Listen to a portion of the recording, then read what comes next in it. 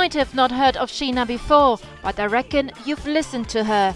She's performed alongside some of the biggest names in the music industry, such as Mariah Carey, James Brown, Charlotte Church, and Amy Winehouse, but to name a few.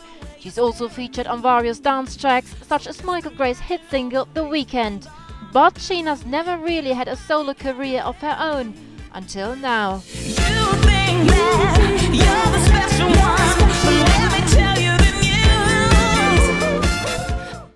I think I'm ready now. I wasn't ready before.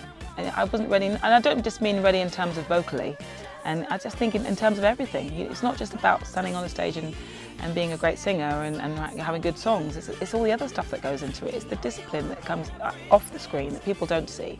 You know, the not the choosing not to drink. You know, because you know that you've got a gig in a couple of nights' time and it's going to sound awful if you if you've been drinking or you know you can't do certain things that you would normally do.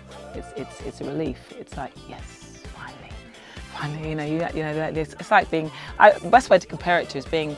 It's like feeling like you're a bridesmaid and never getting to be the bride, and eventually you get to be the bride. That's what it feels like. It's, it's just like right now it's my turn. Right, I'm gonna milk it. You know.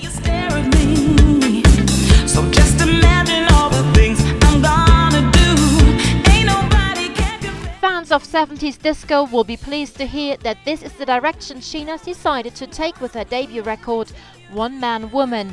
Disco's had a hard time in the mainstream since its heyday.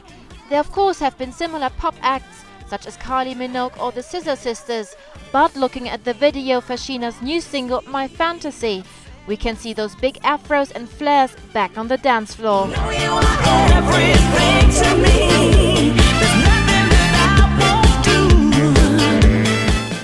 Likes or appreciates disco music is gonna you like it cool.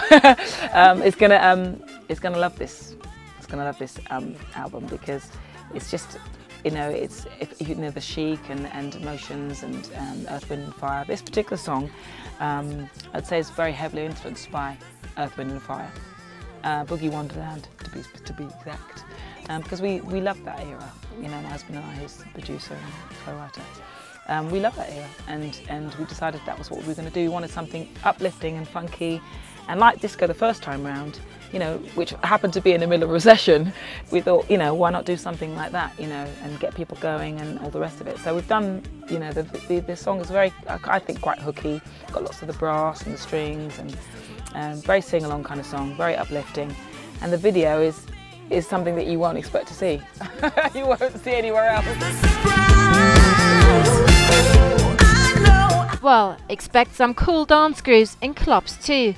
And it might just not end there. I think my fantasy would be the O2 Arena, packed, full, um, everyone singing my songs, um, just having one hell of a party in the O2. That would be it for me. And I could just, you know, go to bed the next day and that would be, I would, if I didn't wake up, I'd be like, so what?